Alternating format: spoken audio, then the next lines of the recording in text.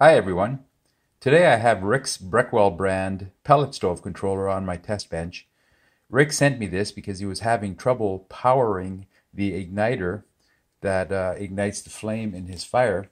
This controller has the capability to do that because it has a special relay on board and it has an electrical tab that you can connect a wire to to ignite the wire to ignite uh, to power the igniter. I've got that under the um, the uh, intensity switch and it's one that I have a brown wire connected to right now. So uh, when I power up the the tester, I should have uh, up to four lights come on. The first one is of course going to show the igniter. I've got the combustion fan simulator, I've got the auger motor simulator, and I've got the convection room fan simulator on my uh, fixture. So I'll go ahead and power it up. And uh, what should happen is I should get the combustion and the convection fans come on. And then when I turn on the auger, the auger and the igniter will come on. So here we go. Uh, we'll go through the test routine here. Uh, so of course my combustion and the convection uh, motors are powered, indicated by the light bulbs. So a couple tests tests that I can do here. One is I can power the auger motor manually and that is done through on the schematic through the orange wire. Or I can go to maximum intensity with the fan and you can see that the light went to bright there. So I have that back to normal. The other thing I can do real quick is uh, cycle through the positions on the switch the A, B, C, D, E, F switch and you can see that the light intensity increases or decreases so now it's time to test both the igniter and the auger, auger in automatic mode. So I can do that by pressing the auger button. So because I've just powered this on, when I press the auger button, that'll start the timer timing for the auger to start cycling. It won't come on immediately, but it will in a little bit. And when I release the button, that should cause the igniter light to light up. So let's go ahead and check that out. So I'll press and hold and I'll release.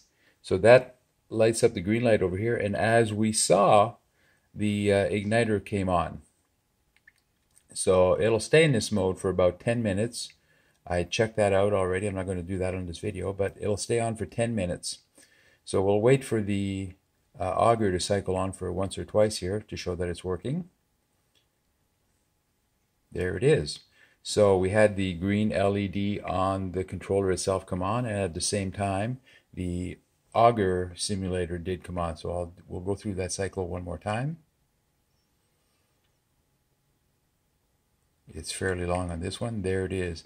And if I increase the uh, heat range to the maximum, that should cause the auger to run longer. Instead of just a quick on, it'll stay on longer, but it will still cycle. So let's wait for that.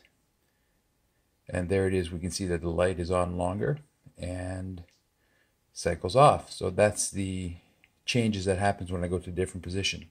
The other thing I'll note here is I've got my meter on 120 volts AC and it's basically telling me the same thing as what the um, the igniter is is doing.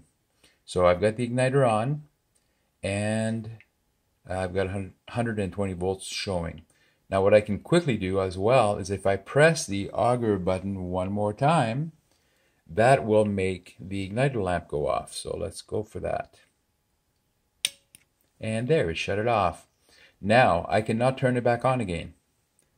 I can press all I want and nothing will happen.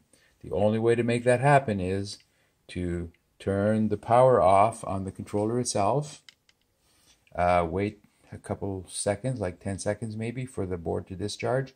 And then I should be able to restart the ignition cycle. So let's do that. I've got it off. I'll wait a little bit. You can see my voltage over here is pretty well at zero and my lights are off. So if I turn it on, let's see if I'm successful with that. Press, release, and there it is. The igniter came back on. So Rick, I want to thank you for sending me your controller. Um, I'll be packaging it up and returning it to you very shortly. Thanks again. I appreciate it. Bye bye.